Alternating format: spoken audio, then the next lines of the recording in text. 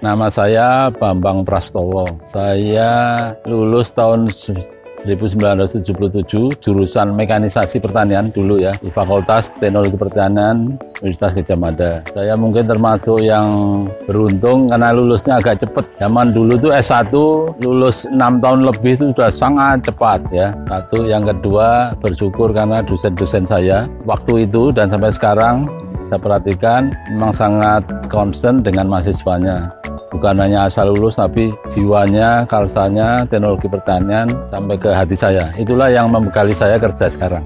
Saya beruntung karena setelah lulus saya bisa teruskan ke S3, belum sempat kerja, lima tahun saya selesaikan S3 saya. Saya tidak pernah dapat gelar S2 jadi langsung S3 ilmu yang saya dapat selama enam tahun di FTP sangat relevan dan sangat membantu sekolah maupun karir saya.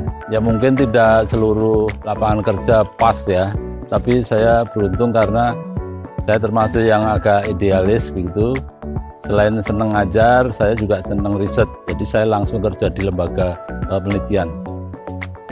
Karir itu berangkat bukan dari segi ilmunya, tapi dari jiwa kita yang sudah dibekali selama 5-6 tahun di Gajah Mada itu sebenarnya membekali saya itu yang saya peroleh atau saya anggap nilai lebih dari lulusan yang lain setelah saya kerja di riset, lembaga riset.